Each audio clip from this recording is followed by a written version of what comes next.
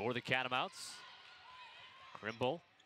That goes out to Sydney Smith, who makes the missed a three. couple, but they can heat up in a, in a, in a hurry.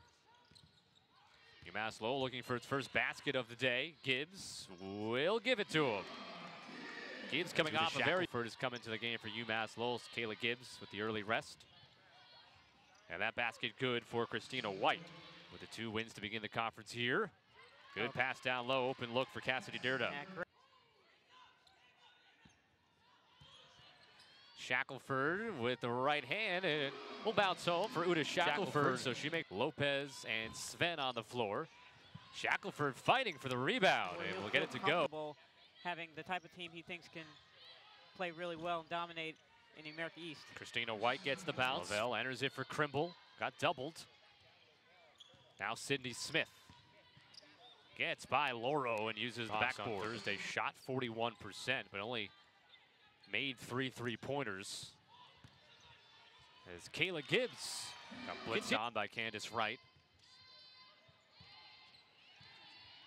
Shot clock at five. Catherine Smith rolling into the paint with the finish. Aggressive offensively, regardless of who's playing you. There's a steal for Sydney Smith.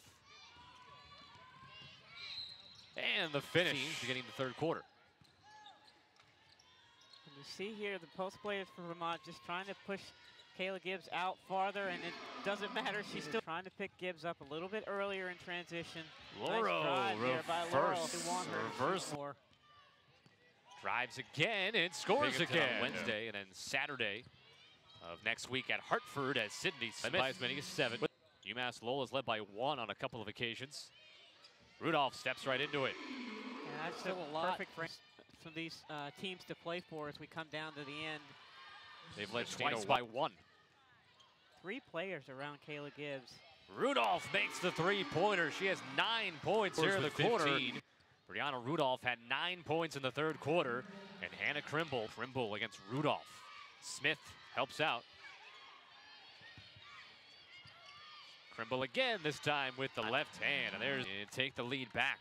Yeah, good adjustment, Coach Day, because that's not the shot that UMass Lowell wanted. So Sydney coming out Smith of the timeout, entered for Gibbs.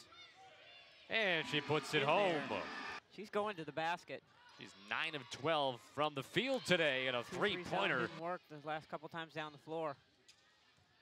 Lopez perusing the floor into the paint and the right hand finish for the freshman from Spain. Beautiful shot.